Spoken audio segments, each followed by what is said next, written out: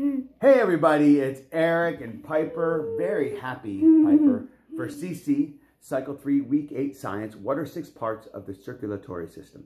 And as you know, the circulatory system is the part where our the heart pumps blood through our whole bodies. And so when we think of the circulatory system, we think of the heart. And we think of the heart, yeah, pump, pump, pump. When we think of the heart, we think of I've got that joy, joy, joy, joy down in my heart.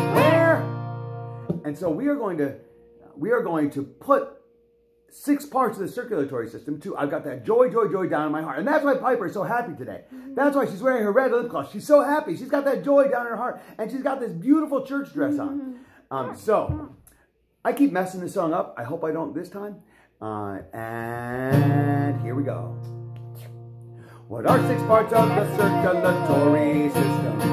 Heart, arteries, veins, capillaries, red and white blood cells, and platelets. Circulatory system, heart, arteries, veins, capillaries, red and white blood cells, platelets. Heart, arteries, veins, capillaries, red and white blood cells, platelets. Let's do it again.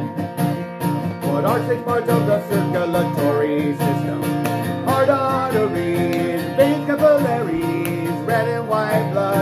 cells, and platelets. Circulatory system. Heart, arteries, veins, capillaries, red and white blood cells, platelets. Heart, arteries, veins, capillaries, red and white blood cells, platelets. Circulatory system circulatory system,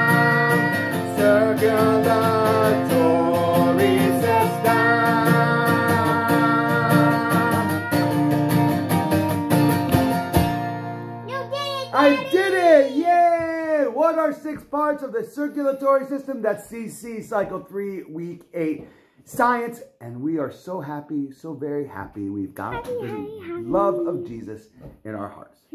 See ya. Bye. Bye bye. You can turn it off.